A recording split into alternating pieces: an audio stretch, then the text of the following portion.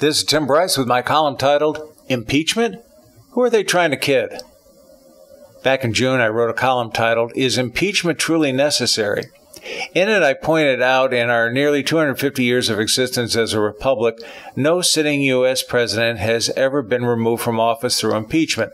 This includes Andrew Johnson and Bill Clinton, the only two presidents ever impeached.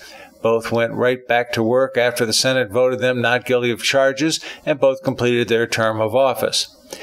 Impeachment has changed from a legitimate tool to remove someone from office to a political tool to besmirch the character of someone, thereby hampering their chances for getting reelected. Such is what the Democrat controlled House of Representatives hope to do with Republican President Donald Trump.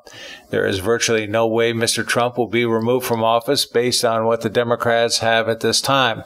The Republican led Senate will quickly dismiss the charges when they are presented to them. The Democrats already know this, but want to embarrass the president and hopefully create some form of national angst over his impeachment.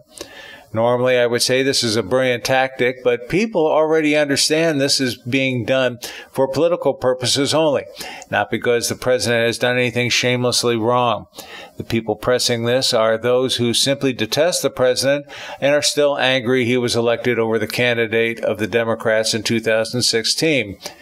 Timing will be critical, and the Democrats will want to drag this out as long as possible, so the actual charges will likely not surface until the new year, just as the primaries are beginning.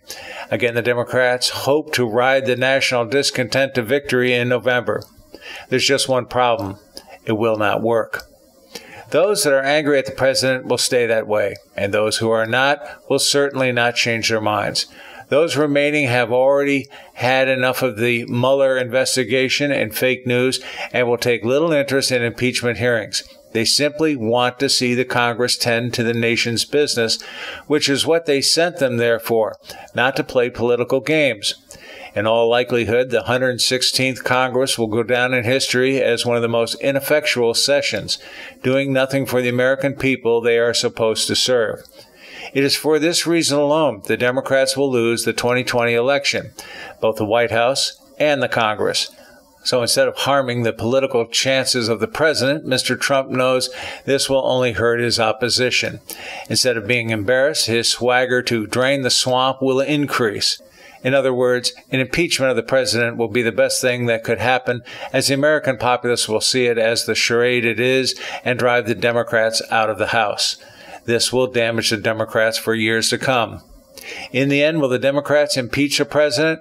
As I said at the start of the 116th Congress, of course they will, as they cannot resist temptation. And besides, they have nothing else to do. Friends, keep the faith. This is Tim Bryce Palm Harbor, Florida. Follow me on the internet at timbryce.com.